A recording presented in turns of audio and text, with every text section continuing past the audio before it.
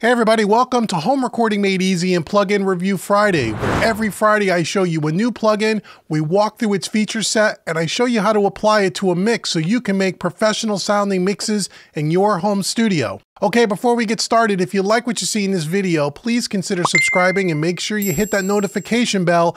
And also make sure you stick around till the end of the video because I have a few free gifts I want to give you that is absolutely going to help you make better music in your home studio. So stick around.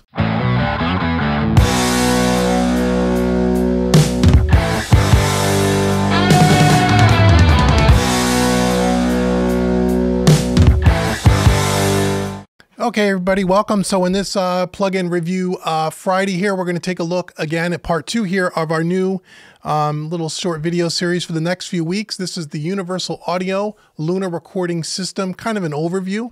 Um, last week uh, was part one, which I'll link in the description box below, where I just kind of give you an, an, introduction, showed you this screen here, this page, the start screen, and showed you what was here. And we took a look at the store and some of the other things. Again, check out the video below.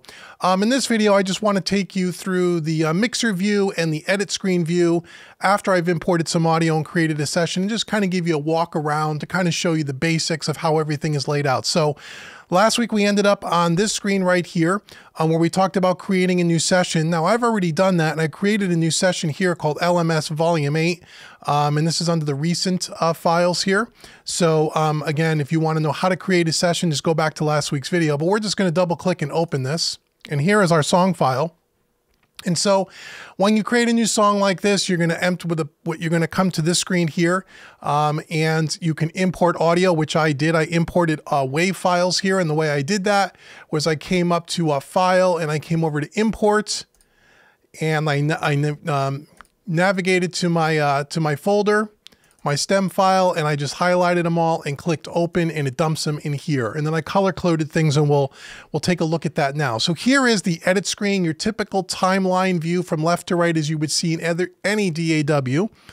Let's just kind of walk through and show you how it's kind of laid out. So over here on the left-hand side, if I click on the first track here, oh, I'll go all the way up to the top here you'll see our input for the track that is selected. So we're on this uh, kick drum track here um, as the first track. And here is uh, where you can add um, inputs. If you click the plus button, um, this will allow you to, um, if you were recording, let's say, let's say this was an empty track without a file on it, this is going to be um, for your inputs for your uh, specific Apollo interface right here.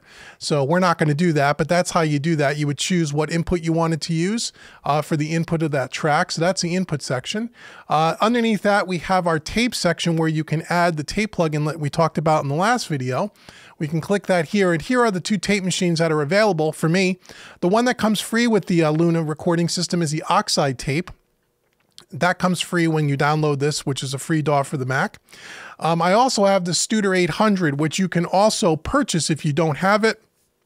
But if you already own Universal Audio prior to Luna and you own the Studer 800 tape machine as I do, it'll show up here.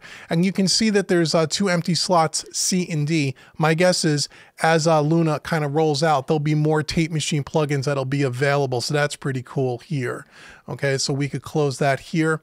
Um, underneath that is the inserts where you can insert plugins. And the um, one question a lot of people have asked me prior to Luna coming out was, will you be able to use third-party plugins or is it just universal audio plugins?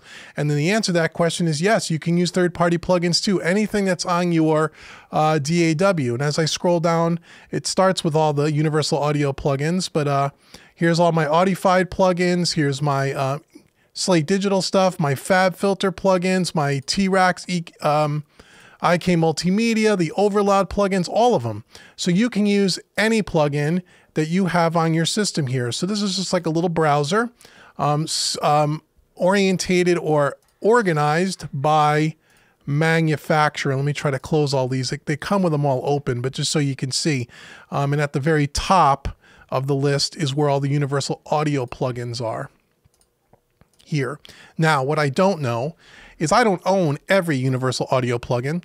So if you click on one that you don't own, it's going to ask if you want to go out to the store and buy it. I have to figure out if there is a way to maybe remove the ones that I don't own or hide them or create a favorites folder for the Universal Audio plugin so I don't have to sift through a bunch of plugins that I don't own. If that makes any sense. But here is our browser, okay? So yes, so we can you can add third-party plugins in, which is great. Um, underneath that, we have our sends. Again, if we have, um, right now we don't have anything set up, but we have like a send for a delay or a reverb, we can come over here to send our kick track, in this case, to that send. We also have an area here for cues for uh, headphone um, headphone uh, cues for recording. And then we have our output. Right now, this is routed to a drum bus along with the other drums, and I'll speak about that in a second. And then down here, we have our fader down here. Now, um, you may be asking, well, where's the console so I can see all the faders? We'll get to that in a second. So that's the left-hand side, depending on for the track that you have selected. Next to that immediate left here, we have um, our loop track, um, a timeline, a tempo track, a time signature track markers, all related to the timeline here and you can just uh, click on them and you can open them. Here's a tempo track if you want to add a tempo track. You can add a time signature track if you want to do that. And that is all going to reside here on the timeline. Here's our markers track. You can even color code the markers for different sections of the song, which is pretty cool. Um, you can turn the snap to grid on and off here. Okay, so that's over here. Uh, over the top of that, we have our timeline here. Okay, and we can uh, we can change the timeline and the way it looks from uh, Bart's from Bart's from Beats and bars back to uh, to samples or whatever we want to do. We can use a loop here, cycle, and we can loop a section of the song if we want to. All the basic stuff that you would see in pretty much any DAW here. Um, let's see, uh, underneath the markers here, we have this thing called tracks where we can, oh, change the height of the tracks. I didn't see this before. So let's see if you want to make these small. If I want to make a micro so we got more real estate on the screen, I was looking for that before. Really, really tiny. And you can make them extra large and make them huge if you want to. Uh, mini and maybe even micro will give us a better overall view. Okay, and you can also resize the tracks just by clicking and uh, dragging on the left-hand side again. Pretty standard with any DAW. Okay, that's the tracks here. We have this thing called versions well, that's just going to scale this up and down here. I'm not really sure what that does. That must be for different takes, I would imagine, and stuff for maybe layering and those kinds of things. I got to research that a bit more. Um, along the top here, or actually, let's take a look at each one of the tracks. So if you scale down the track, you'll see you have your record, you have your input, your solo, your mute buttons, um, all the usual suspects. You could turn the volume up and down here, which will also correspond with the fader down here on the bottom uh, left-hand corner of your screen. Um, let's see, you have your inputs, your outputs, basically all the same stuff. Warping, any automation stuff, those kinds of things. Along the top here, it's pretty, uh, pretty laid out pretty uh, cleanly here. Um, the first section I want to show you is the um, is the view section. So right now we're on the in the edit screen. If we click this, now we're in the console view. So this is where you could take a look at everything like a traditional mixer. I don't know if you can separate this window and maybe drag it onto a separate display. My guess is that you can, uh, but I haven't figured that out yet. Again, I'm brand new to this. this. I've been using this for literally 30 minutes, so I don't know yet. But I would guess you probably could, but you can just switch back and forth by the click of that button, or you can use on a Mac Command and the plus key, and that will switch back and forth automatically. Okay. You can also come up to view and you can toggle it this way, uh, right here, toggle the timeline in the mixer. Okay, so you can do that as well. Oops. Oh, did that did that separate it as a as a nope? I thought that might have separated it. No, it didn't. Okay. So those are our three views here. Now, also next to that, we have this little show hide window. This is going to show us all our tracks here on our left-hand side, like our, you know, our track view. Um, if we were to come over here, we can take a look at the focus. That's good. Focus is going to show you the channel strip where the inserts and the tape machine and everything are, as I mentioned before. Next to that is going to be the info, which is along the bottom of Luna. It's in the way of my dock here. Let me bring it up here, where you could see your sample size, the clock. You could see the stuff that pertains to the uh, Universal Audio DSP, which is cool. Um, and then you can also look at your monitoring section, which is over here on the right-hand side, which is, you can see my voice coming in on channel four because I have a Universal Audio Apollo. So you can decide to keep, hide, open, or close depending on, oops, on how much real estate uh, you need on your screen here. You can take everything away if you wanted to, and you can see that's going to be the maximum amount of room you have on the screen. But I want to see the output monitor. I like to see everything, at least when I'm first starting off with a DAW. I like to see everything so I know everything's laid out. Maybe not so much the tracks, but you could even resize this just by dragging it in like that. So the track window doesn't need to be as big. Okay. Next to that, we have our BPMs, our um, tempo. We have our click on and off here. And you can turn the click up or down here. There we go. We have our counter here, our transport controls, all the usual suspects, our loop button. Here we have the start, the end, and the length. If you want to pick, I think this would be a section if you're going to loop. Yeah, as I move the loop, you can see the where it starts, where it ends, and the length of the loop. Uh, so you can kind of cycle things if you wanted to. Makes it really simple. Okay. Next to that, we have some global settings. Now, the one thing I will say about the Luna thus far, and again, I don't know if you can, uh, if we could change this. Everything up here looks very small, hard to read. I don't see where you can maybe expand things to look a little bit larger or make them bigger. Uh, full screen, we'll just bring this, let's see, full screen doesn't really do too much as far as that goes. Um, we can exit full screen. Um, so again, these are kind of tiny. I don't know if there's a way to make those things larger, but anyway, um, here is our um, workflow here where we can turn Oh, this this will this will change what happens at the top here. So this will give us our cue inputs and cue outputs. Here is our um, punch in stuff, and for our cues here, our workflow. This will bring us up uh, things for doing MIDI, MIDI keyboard, things for playing MIDI instruments. This little symbol will uh, is an editing, kind of like a toolbar, like the macro toolbar kind of in Studio One. And then this is going to give us uh, oh, this will give us the ability to click around the uh, the edit screen here, so you can kind of, and then you can mix down. So if you want to mix out your song, you click that, and here's your mix down button for when you want to export your song. You get a mix down window.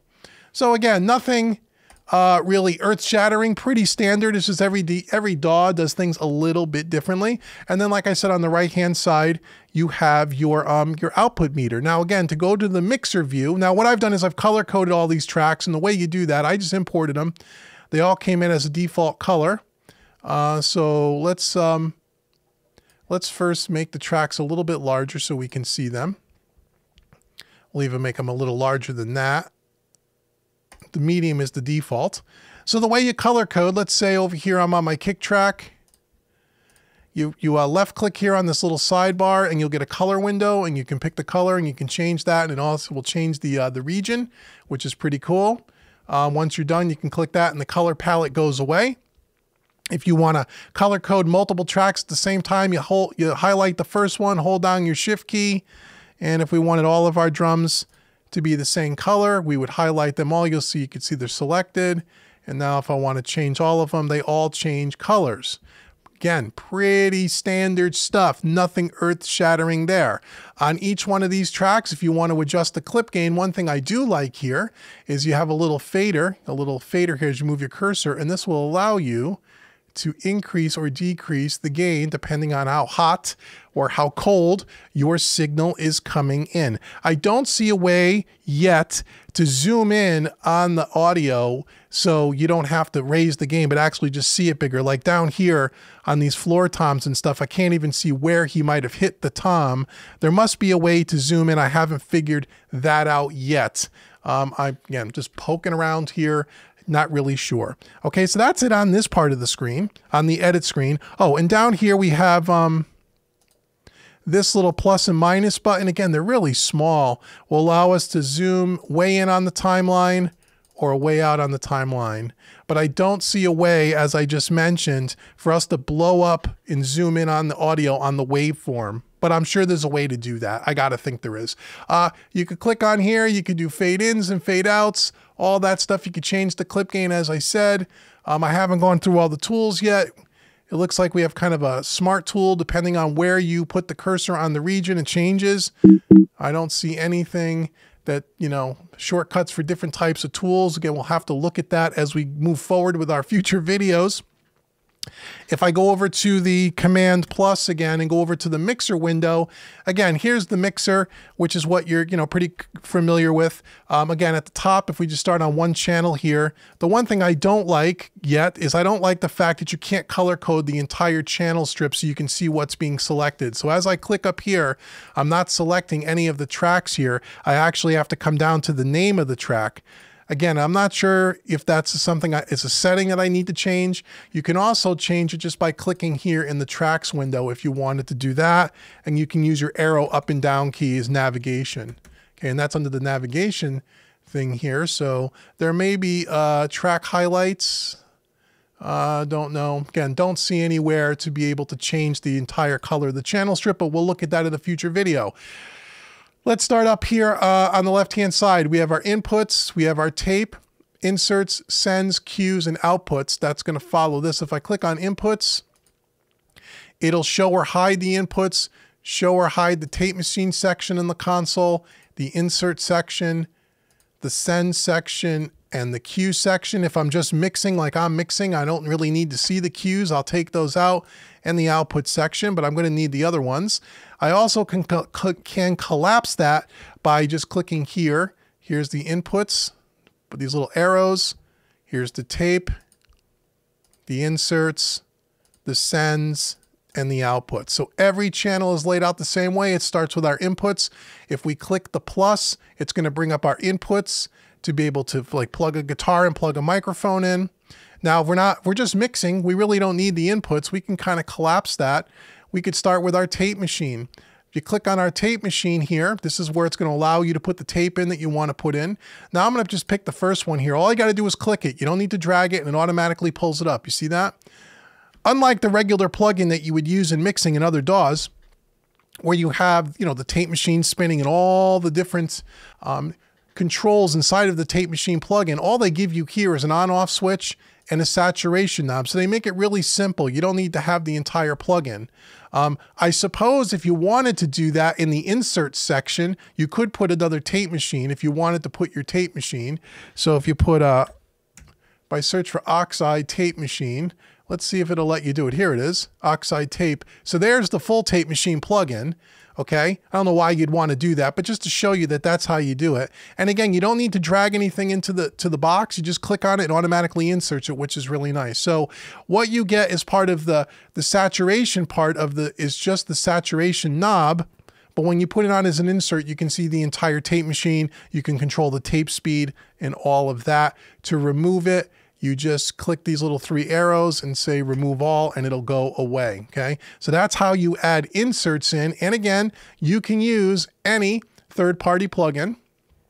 So if I were to go to, and I don't like the way it always, I like to see everything collapsed, not wide open like that, but this is how they do it. Again, there may be a, a, a, a global setting that'll change that. So I can see all of my manufacturer's plugins here. But let's say I wanted to put a Waves plugin on here. I can click that and there's a Waves plugin. So you can use third-party plugins, which is nice. Remove. Okay, so there's our inserts, our sends. If we had sends set up, we could send things to uh, different uh, reverbs, delays, those sorts of things, and then our outputs. So as you see here, I've already kind of imported the session, obviously, and I color-coded these, and I want to show you um, actually in the next video I'm going to show you the um, the Neve summing plugin because that's something that is uh, that a lot of people were anticipating and one of the things that attracted me to Luna was the fact that it has built-in summing inside with their new Neve plugin. Now it's not uh, a free plugin, it's a $300 plugin, but you could demo it for 14 days and we're going to listen to it in the next video to see, hey, is it worth 300 bucks? I don't know. We'll check that out in the next video here. Let's see if we could take off this tape. How do you take this off? You right click, how do you get rid of it? Oh, view large icon. Let's see. Okay, it is icon. Uh, how do you remove it? I don't know. Can you just remove it by taking it off? No. Have to figure that out. Like if you wanted to get rid of it, how do you get rid of the tape plugin? Not really sure. There must be a way to do it. Uh, again, I can't really see these really uh, difficult to see. Everything is so small, which is one thing I don't. oh, right here, probably remove. Okay, no, no, that's not gonna. How do you do that? Remove. Oh, that's how you do. Click remove, and then you click the plugin, and it goes away. That's kind of odd, but okay, that's the way they do it. That's the way they do it. Uh, so that's kind of the layout here of this. You know, this is pretty much a standard, uh, you know, console setup view that you would see in any DAW. Channels, panning, uh, read write automation, your solo mute input, your record enable, all that stuff is pretty standard. So that is a look at our console view, mixer view, and our edit screen and a basic walkthrough. In the next video, we will take a look at um, the summing plugin, the Neve summing plugin. I'll show you how to create a bus and put the plugin on a bus because that has to be used on a bus. And we'll see how it sounds on a couple of different groupings of instruments. So I hope you found this video somewhat helpful um, and interesting. This is another, again, a little introduction to the uh, Universal Audio record Luna recording system. Uh, let me know what you think below. Leave comments. Are you someone that's a universal audio user and you're going to download this? Again, it's a free download, but it's for Mac only. I'm not sure when and if it's coming to PC. I got to think it will at one point. Um, are you planning to use this? And if you are, if you used it yet, what do you think about it? Comment below. Also, leave other comments below about what are the things you'd like to see in the Luna system. Um, and I will try to get to that over the period of time. I'm going to try to make a bunch of videos. Um, we're going to start off with a bunch of mixing videos, and then we'll get to some recording videos. Let me know what you'd like to learn below. So thank you so much for watching this entire video. As I always say, I want to give you a free gift. If this is your first time here, welcome to the family. I want you to go to homerecordingmadeeasy.com. I want to give you five free mixing training courses worth about 210 US dollars, five free courses. It's my way of saying thank you just for visiting homerecordingmadeeasy.com. And you can take the audio files from those courses and you can import them into any DAW, including Luna, and you can mix the song along with me. How cool is that? And speaking of mixing, if you really want to learn the craft of mixing in a very non-technical way, make sure you head on, head on over to mixingmadeeasy.net and check out what I have going on over there.